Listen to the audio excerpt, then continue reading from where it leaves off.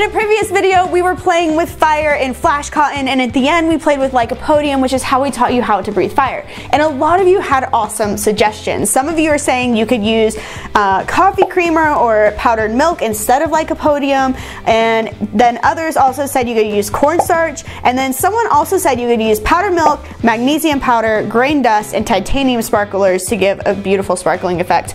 That kind of freaked me out, and I wasn't here for the titanium sparkles, but we're definitely gonna try out the magnesium powder. Shout out to you guys for knowing what powders also catch on fire besides lycopodium, and today we're gonna put those plus a couple others to the test. Okay, so to start this out, we're gonna start with the lycopodium because we know this works and it's our baseline test. It's basically the control of this whole video. Then we're gonna go from there and try out some of these other products. We have two different types of coffee creamer that we're going to try out today. So we also have two different baby formulas. One of them has a base of corn syrup, which is this gentle one, and then the infant infant one has a base of non-fat milk as the number one ingredient. So I was curious to see if there was gonna be a difference between the two and if one of them burned better than the other.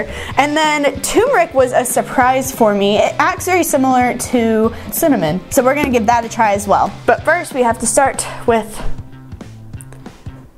our lycopodium.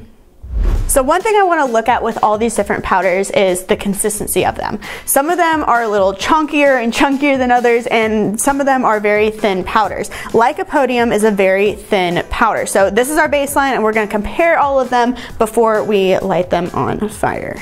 So for this test we're using a half inch um, diameter tubing of vinyl tubing that I just got at Home Depot. You can get it at any hardware store.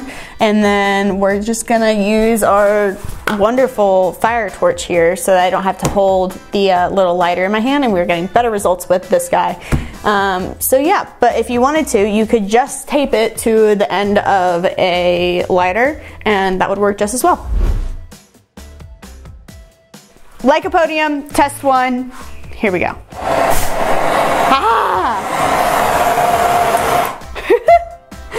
We got a very nice fireball that just went. The lycopodium does a great job of just spreading out and dispersing into a powder and just becoming this amazing just of smoke and fire and it's beautiful every single time. Um, so let's move on to another one since that's our baseline and we know what we're looking for from now on to what our next one should be. So let's go ahead and test out these coffee creamers. This is the Coffee Mate coffee creamer. This is the Enjoy brand coffee creamer. So first thing off the bat that I notice is this is way grainier. You can even hear it compared to the lycopodium, but we're still gonna put to the test and see what happens.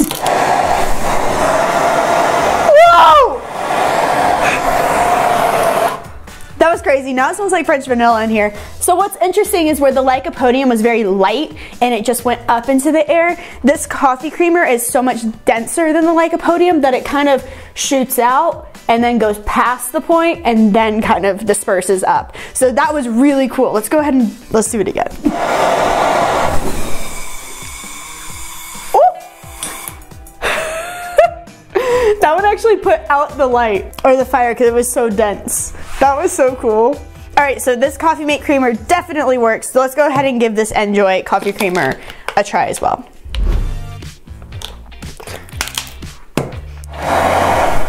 Woo! That was a good one. I like that one way more than the Coffee Mate creamer. This one works really, really well because it gets that like powderiness everywhere and it's not so dense with those sugar crystals. Um, so yeah, our coffee creamers, flammable. You can definitely turn them into a um, fireball. Definitely different than the lycopodium, like we talked about before, where the lycopodium very much goes up and disperses. These kind of shoot out past the flame and then rise just a little bit. Mostly they fall back down. The next one we want to give a try is this cornstarch um, and see what it does because I'm very intrigued by it. Cornstarch is very light and fluffy, very starchy. Um, I feel like we're gonna have very good results compared to lycopodium but it feels like a mixture between lycopodium and the coffee creamer. Texture wise it's, it's a little heavier and it likes to be dense and together. So we'll, we'll see what happens when it gets dispersed through the air. But it does turn into a powder really really easily and really well when you introduce basically a breeze into it. Yeah. Okay cornstarch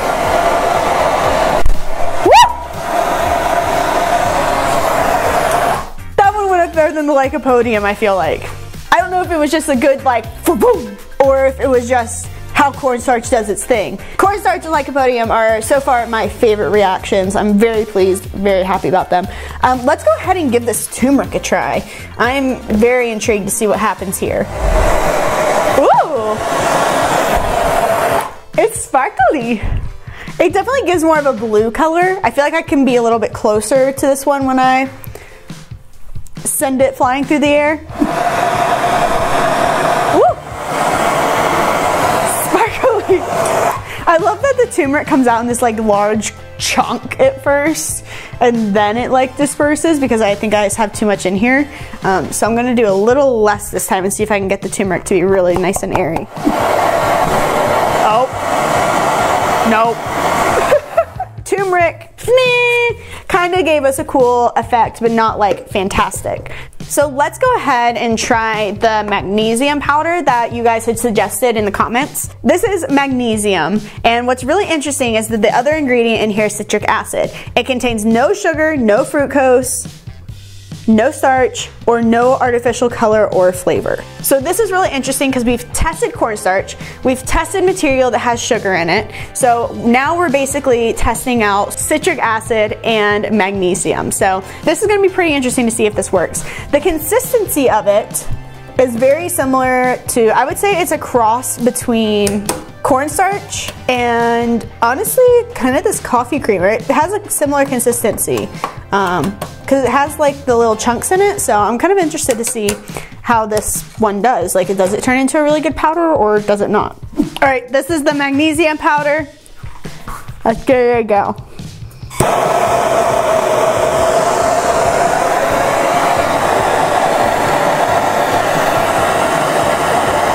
Nothing. You can literally see it falling through the air. I feel like I'm in snow. Um, it's really thick. Like the particles of it are really thick. Yes, it turns into a powder, but it doesn't have that light, airy, fluffy feeling. It's just kind of whew, these thick particles that are flowing, floating through the air. So let's go ahead and give it a try again.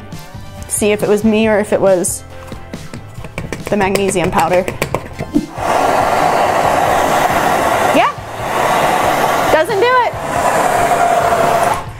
So pretty interesting because you know magnesium powder doesn't catch but it has it doesn't have any sugar or starch. So that's basically what both of these have in them the cornstarch especially. And then you have sugar in the um, coffee formula. So magnesium powder is a no-go. Our next one here is whole milk. This one's kind of interesting to me because it is a little denser has a little bit of the same consistency of the coffee creamer, I would say, um, or even the magnesium powder. But this is whole milk powder, so it's gonna be very interesting to see if it, if it works or not.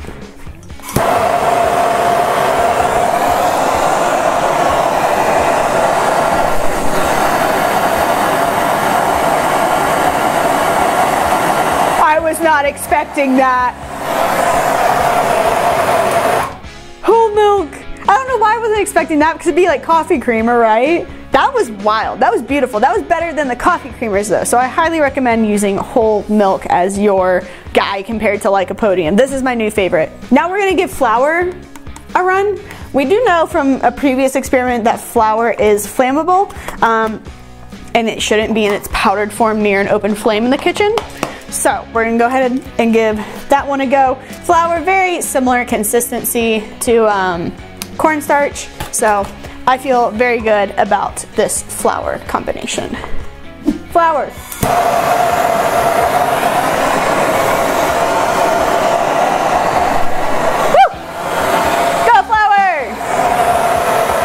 Pretty much what we expected for flour to do. Now we're going to give a test to um, this product called Athletic Greens. It is a green substitute and it has like a bunch of healthy nutrients and stuff in it. It smells just like you would, it looks. So I was curious to see if they were flammable.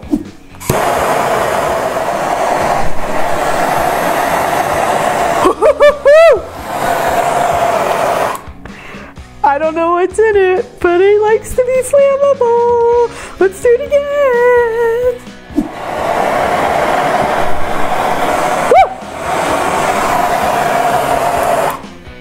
That's so cool. I had no idea it was gonna do that. Oh, I love it. Okay. Second to last, we have these energy drink mixes. I would give them a try because they have a lot of sugar in them. Um, and we found really good results with that. So we're gonna go ahead and try one of these, see what happens, and then move on to the last experiment of the day, the flaming baby powder food. Nothing. A whole lot of nothing. To be expected because it's not very powdery, it's kind of condensed and doesn't turn into a powder when it's like blown on. So we know that. Finally, we have our non-fat milk-based baby powder food thing. It has a similar consistency to this non-fat or this whole milk. They can pack the same, which makes sense because this is this one does have a uh, non-fat milk base. So maybe we'll get similar results to the milk.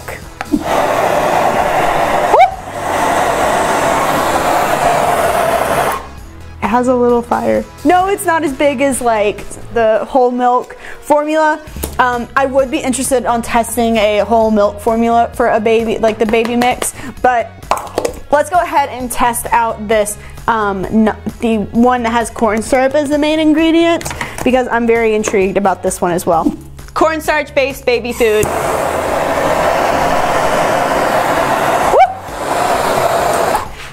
I think the corn syrup based baby food did much better, which is still concerning on the gentle baby's belly that it's flammable. The biggest shock of the day for me was the athletic greens. That's basically this substance that has a bunch of minerals and healthy things in it and helps you get your servings of vegetables in for the day. That was really cool. Um, the other one that I thought that was really awesome to see was the whole milk. That one was actually very shocking to me that it did as well as it did in its powdered form.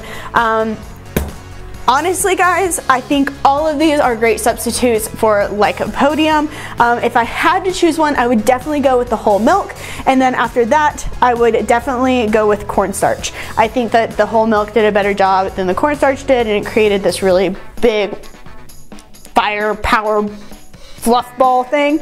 Um, and you can get more whole milk and more bang for your buck than you can with cornstarch. So that's definitely the direction I would go. Thank you so much to our friends that put in comment suggestions about what we could test against Lycopodium to get an even better fireball. If you have a video suggestion, drop them in the comments because we're back to our old ways of pulling out your comments and making videos of them. Thank you guys so much for watching and make sure you check out the video that started this craze of us basically breathing fire with this video right here.